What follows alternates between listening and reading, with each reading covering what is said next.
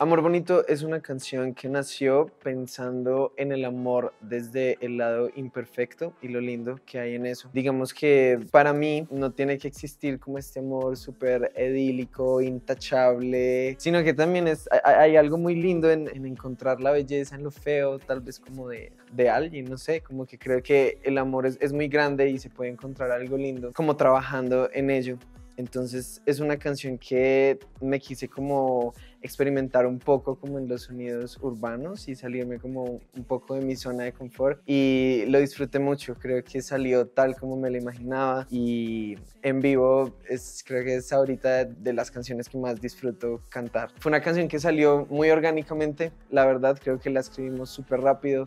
y, y me gusta mucho.